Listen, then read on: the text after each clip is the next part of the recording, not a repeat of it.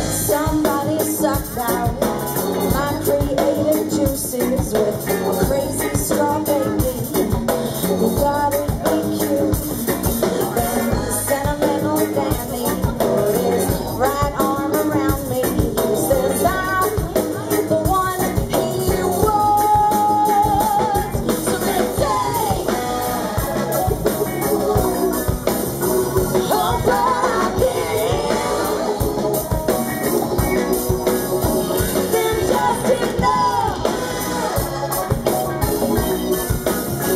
To shut them up.